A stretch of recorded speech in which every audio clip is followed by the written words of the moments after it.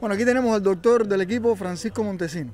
Doctor, en Cuba muchos se preguntan cómo resuelve el equipo las 12 horas de diferencia que tenemos con respecto a Cuba, faltando tan pocos días para la competencia.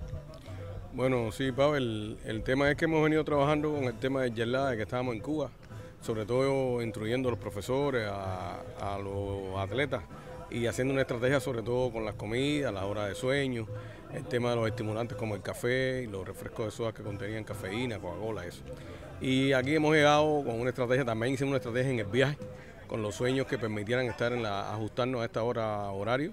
Y después que llegamos aquí, bueno, hemos tenido un clima que no nos ha favorecido, pero de alguna manera estamos tratando de hacer todo lo que se indica para estos casos donde se viaja de manera tan, tan rápida y se cruzan 12 usos horarios.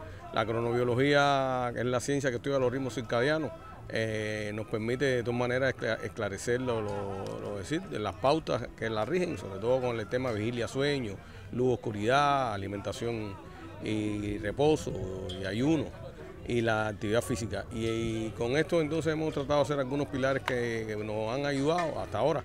Hemos tratado de adaptarnos bastante bien.